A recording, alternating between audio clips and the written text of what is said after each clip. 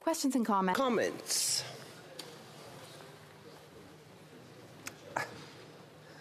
The Honourable uh, Member for Battle River Crowfoot.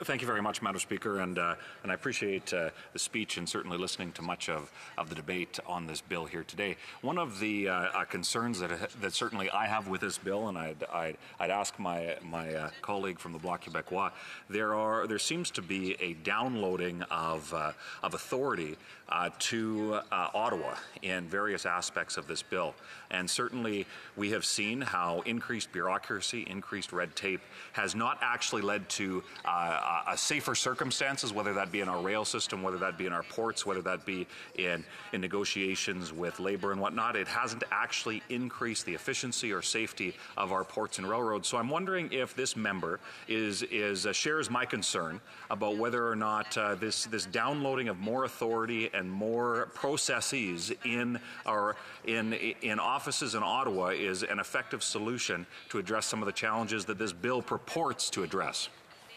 L'honorable député. The honourable member for Repentigny. Madam Speaker, I don't understand what downloading of authority the member is uh, referring to.